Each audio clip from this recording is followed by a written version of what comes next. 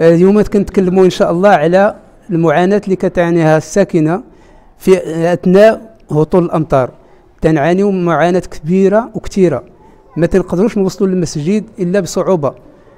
وكانت الأشغال توقفات لمدة سنة ونصف تقريبا هذه. ووعدونا باش تكون إعادة الأشغال. وكانت في هذا الأسبوع آه، لجنة مختلطة حضرات العلم كان هنا. ممثلة في آه، العمران ومكتب الدراسات الجماعه المحلية والسلطات المحلية. وقع واحد يعني التقرير بأنه غادي تبدأ الأشغال في مدة أقصاها 15 يوم.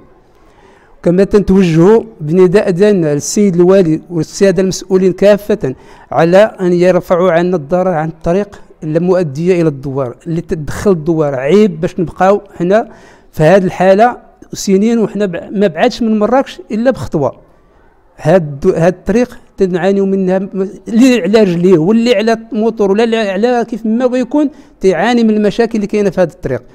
والسلام عليكم ورحمة الله. الرحيم. عزيز بن علال من ساكنة الدوار بوصحاب جامعة سعادة المرابطين مراكش. آه جينا اليوم نوصلوا واحد الصوت اللي شحال حنا كننتظروا يوصل للمسؤولين وهو المعاناة تاع الدوار هذا. المعاناه اللي بدات سنين طويلة واستبشرنا خير ملي بدات الأشغال تاع إعادة الهيكلة والمشروع تاع الصرف الصحي. السكان استبشروا خير ولكن مع المدة توقف كل شيء. طريق مازال كما هي.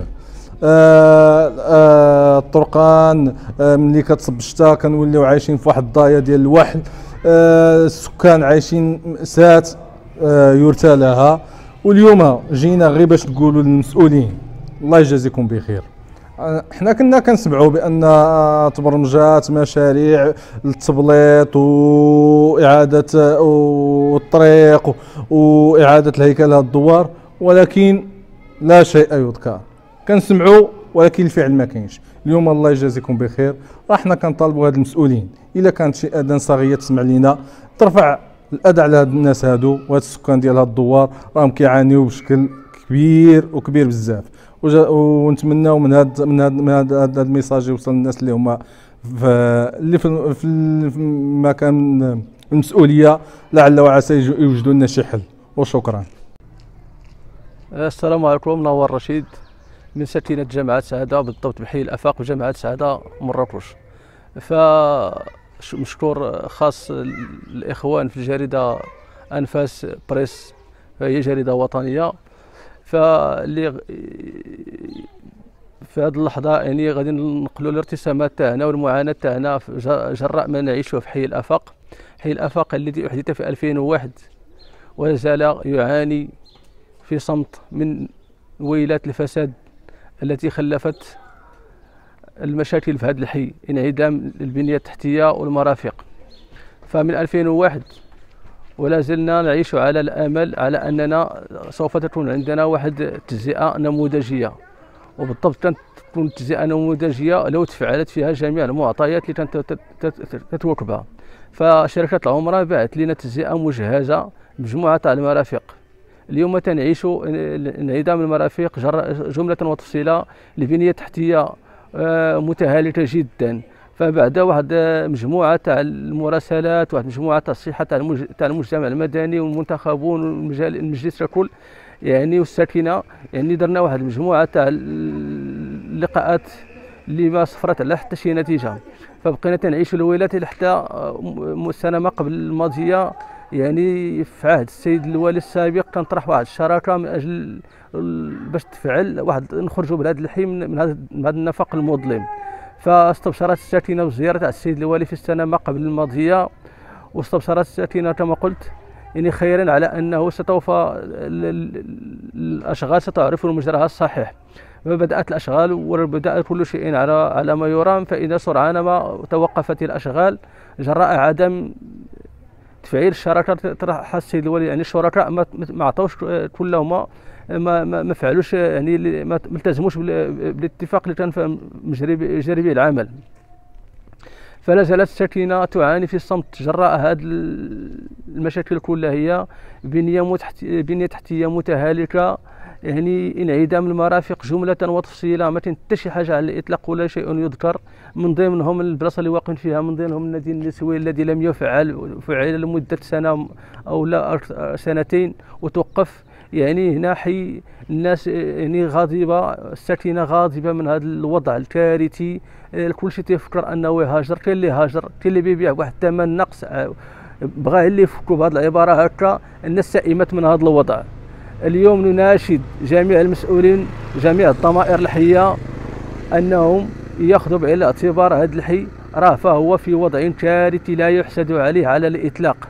نناشد تدخل السيد الوالي نناشد السيد وزير وزارة الإسكان نناشد جميع المسؤولين.